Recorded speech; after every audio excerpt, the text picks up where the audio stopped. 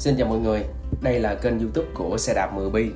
Vẫn như thường lệ mình sẽ trở lại với cái video giới thiệu những cái chiếc xe thể thao Nhật bản. Ngày hôm nay thì mình sẽ giới thiệu cho mọi người xem chiếc xe tay công mang thương hiệu Centurion. Thương hiệu này đã đến từ nước Đức và xe được sản xuất để xuất vào thị trường Nhật. Bây giờ thì mình sẽ quay cụ thể và chi tiết hơn cho mọi người xem về chiếc xe này nhưng mà trước khi đi vào giới thiệu chi tiết thì mình có một vài thông tin muốn gửi đến với mọi người. Là mọi người chỉ cần lên Google, mình gõ cái dòng chữ là Centurion và cái phiên bản của xe này là Hyperdrive 500 nó sẽ ra những cái hình ảnh chi tiết của chiếc xe này cho mọi người xem. Và khi quan sát hình ảnh chi tiết của chiếc xe nguyên zin nguyên bản tại Nhật, mọi người sẽ phát hiện ra là cái chiếc xe này nó có cái đùi dĩa khác với cái chiếc xe mà mình đang giới thiệu ở đây thì ờ, nó khác như thế nào thì tiếp theo mình sẽ giới thiệu cái chiếc xe của mình cho mọi người xem. Khi mà nhập từ bãi Nhật về thì mình đã thấy cái chiếc xe của mình cái đùi dĩa nó như vậy rồi và mình không có thay thế. Nhưng mà so với nguyên bản nó có khác một cái chi tiết đó thành ra là bắt buộc trong video mình phải nói rõ cho mọi người nắm để tránh cái tình trạng là khi mà mọi người mua xe sau này á, rồi mọi người phát hiện ra cái đó nó không có đúng nguyên zin nguyên bản rồi mọi người có thể là quay trở lại trách mình tại sao không nói trước từ đầu. Như vậy thì nó lại không hay thành ra là trong bất kể cái video giới thiệu xe nào của bên mình mình cũng đều nói hết tất cả mọi thứ về chiếc xe. Nếu mà anh em cảm thấy được thì mua, không được thì thôi, chứ mình không có ép. Xe này nó sẽ sử dụng cái tay lắc mang thương hiệu Shimano và nó còn hoạt động rất là bình thường. Đùm xe cũng mang thương hiệu Shimano, phanh xe cũng mang thương hiệu Shimano và đó là cái phanh hàm nhôm ba miếng. Ghi đô tăng của xe thương hiệu Tioga và cái nắp bô tăng nó có đóng cái chữ Centurion. Chén cổ thì mang thương hiệu FSA Xe này có cấu tạo khung nhôm và càng xe là càng carbon. Vành niền của xe là vành niền nhôm hai lớp và cái căm của chiếc xe này là căm nóc, nó sẽ không có bị rỉ sét vì là xe Nhật bãi cho nên là trên xe nó sẽ vẫn còn đầy đủ mấy cái tem đăng ký đăng kiểm tại thị trường nội địa Nhật. Dưới cái tem màu cam này nó có cái dòng chữ Made in Taiwan tức là xe này nó đã được gia công và lắp ráp tại Đài Loan.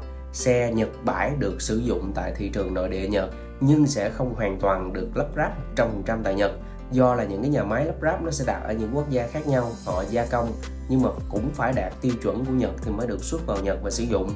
Thành ra là mọi người cứ việc yên tâm về cái chất lượng của sản phẩm này. Về cấu hình thì xe nó có hai dĩa và 8 lít. Phụ đề của nó là Shimano Sora. Hai dĩa 8 lít tức là xe có 16 tốc độ số, nặng và nhẹ khác nhau cho mọi người lựa chọn. Trên xe thì nó vẫn còn mấy cái tem zin của hãng xe Centurion cái màu sơn của xe là màu sơn zin và mình đã có phủ bóng lên cái màu sơn này rồi. Thành ra là cái ờ, chiếc xe nhìn nó rất là mượt.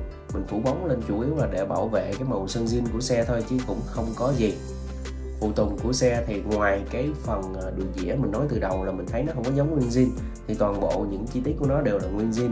Kể cả cái yên xe này cũng là yên zin nhưng mà da yên nó bị rách rồi bắt buộc là mình phải bọc lại cái da. Cho nên là uh, cái chỗ đó mọi người phải lưu ý là là cái yên là yên zin nhưng mà da yên là đã có bọc lại rồi.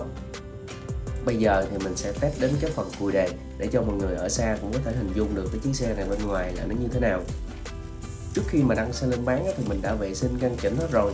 Mua về là mọi người chỉ việc sử dụng liền chứ không cần phải thao tác gì thêm. Mình tra, dầu, nhớt đầy đủ, mình cũng có đi lướt thử. Mọi thứ ok hết thì mình mới đăng video lên mình bán cho mọi người. Ống đứng của xe nó có ghi là 47 nhưng mà mình đo theo kiểu ờ, mình vẫn hay đo. Thì nó ra gần gần 48 còn cái phần ống ngang thì nó có kích cỡ là 53 cho nên là xe này người mà muốn sử dụng được thì phải cao hơn mét 65 từ mét 65 đến mét 75 trở lại. Tổng trọng lượng của xe là 10 kg khung nhôm càng carbon, cho nên nó tương đối nhẹ. Đây là ngoại hình ở phía bên còn lại của chiếc xe. Bất kể xe nào cũng vậy, mình đăng video lên đó mình đều có để cái phần giá ở phía trên cái tiêu đề. Cho nên là mọi người lưu ý ở phía trên tiêu đề mình có để cái giá phía sau. Mọi người xem và có thể nắm được cái giá của từng chiếc xe là bao nhiêu hoặc là mọi người xem video nếu thấy chưa có rõ chi tiết mọi thứ, muốn xem hình ảnh cho nó cụ thể thì có thể kết bạn Zalo với mình. Số điện thoại Zalo thì mình đã có để ngay ở góc trái màn hình. Mọi người cứ kết bạn rồi mình sẽ gửi hình ảnh chi tiết hơn cho mọi người xem. Ngoài ra thì à, nếu mà mọi người xem video này cảm thấy thích cái cách mà mình giới thiệu cũng như có xem những video trước kia, thích những cái mẫu xe Nhật Bản bên mình, thì cứ bỏ một chút thời gian ra, ấn đăng ký kênh youtube xe đạp 10 bi cũng như là bật chuông thông báo để khi mai mốt mình đăng video giới thiệu xe mới lên, mọi người sẽ nhận được thông báo và vào xem sớm nhất. Hẹn gặp mọi người ở video kế tiếp xe đạp 10 bi chân thành. Cảm ơn.